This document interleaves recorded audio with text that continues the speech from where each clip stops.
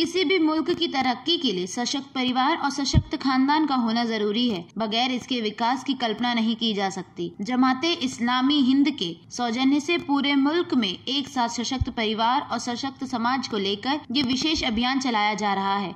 इसी क्रम में जबलपुर में गोहलपुर, अंसार, नगर चोपड़ा भी इस अभियान की शुरुआत हो चुकी है। इस अभियान के माध्यम से बड़ी संख्या में उपस्थित महिलाओं एवं पुरुषों को मज़बूत देश और समाज सहित मज़बूत खानदान कैसे बनेगा, उसके टिप्स दिए गए। जमाते इस्लामी के सचिव गुलाम ने बताया कि इस अभियान के माध्यम से पति पत्नी के आपसी संबंध बेहतर करने, अपने प्रेम और स्नेह के साथ समाज में रहने को प्रोत्साहित करना, बच्चों को और खासकर बेटियों को बेहतर तालीम व तरबियत देना शादी विवाह को आसान बनाना युवाओं में तेज़ी से बढ़ रहे नशे की आदत पर रोक लगाना आज सबसे ज़रूरी है।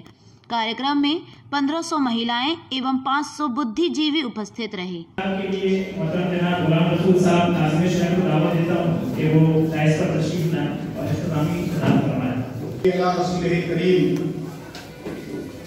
फाऊज बिल्लाहि मिनश शैतानिर रजीम। बिस्मिल्लाहिर रहमानिर वाला सितारों की गुजरगाहों का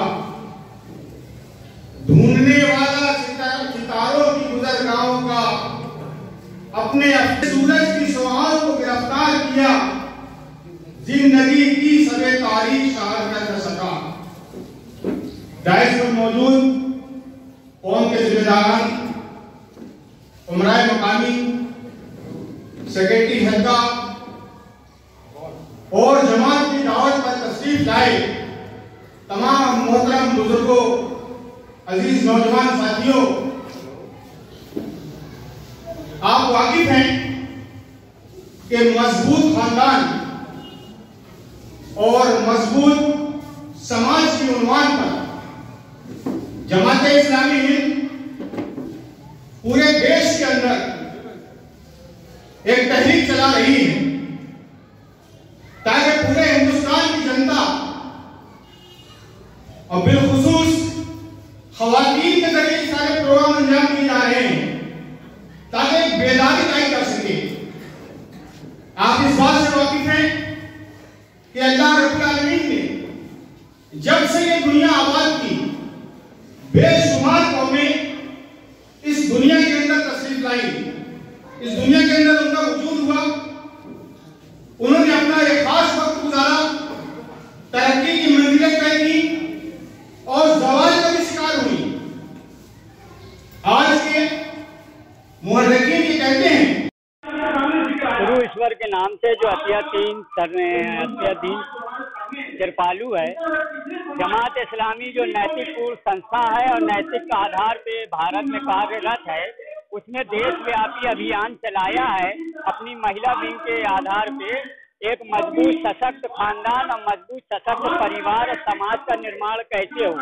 उसके उपलक्ष्य में आज हमारा 19 फरवरी से 28 फरवरी ये 10 दिन का हमारा अभियान है पूरे भारत वर्ष में और दोनों समाजों के लिए, मुस्लिम समाज के भी लिए, हमारे भारत समाज के लिए भी। इसमें आज हमारा लॉन्चिंग प्रोग्राम जो है, आरंभ कार्यक्रम है, जिसमें दिन में हमारा महिला कार्यक्रम हुआ इसी जगह पे, जिसमें 1500 महिलाएँ शिरकत की, उसमें उपस्थित रही।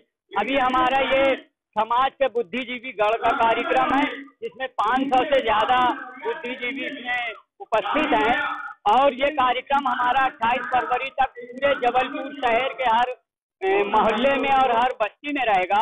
और ये मुहिम अभियान चलाने का मकसद ये है कि आज पति पत्नी के बीच जो झगड़े हैं, जो अपराध बढ़ रहे हैं, नौजवान हमारे गलत रूप पे जा रहे हैं माता पिता के साथ अच्छे संबंध नहीं है और खानदान परिवार बिखर रहे हैं, उसको जो है ईश्वर के आदेश अनुसार जोड़ा जाए, एक अच्छा परिवार बने जहाँ लोगों के प्रति सम्मान हो, दया हो, करुणा हो, भाईचारा हो कमजोरों को उठाने का माध्यम हो, और इसके ज़रिए से एक अच्छे, न्यायपूर्ण और सशक्त भारत का हम निर्माण चाहते हैं। जमात इस्लामी का ये अभियान पहले भी चलता था, और अभी फिर एक मज़बूत भारत की बुनियाद हम रख रहे हैं। सारा समाज, हमारा परिवार अच्छा होगा, हमारा परिवार खानदान नैतिक पूर्ण होगा तो हमारा समाज, हमारा भारत समाज नैतिकता के आधार पर आगे बढ़ेगा और विकास करेगा। गुलाम साबिर सचिव जमात इस्लामी।